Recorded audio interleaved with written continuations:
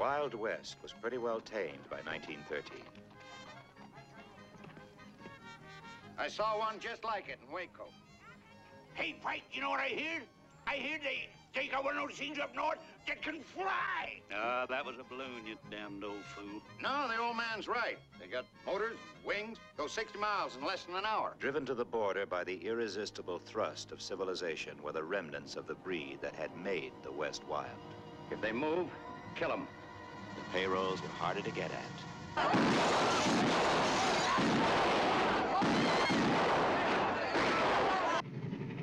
The Army rode the railroad now.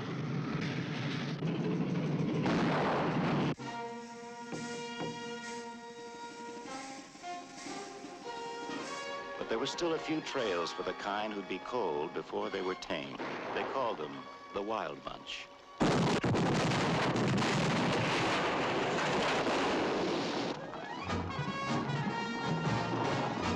Pike had been a gentleman of principle.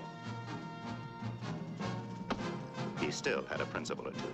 We're not getting rid of anybody. We're gonna stick together just like it used to be. When you side with a man, you stay with him, and if you can't do that, you're like some animal. You're finished.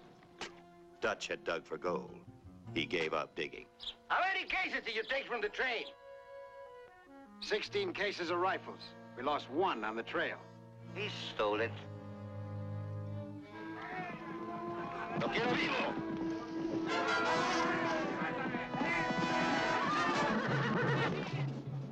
Thornton should have been a lawyer. He always argued. Hold it! Relax. It's just some champagne we ordered. Sykes had been a gunman in his day. He still had the gun.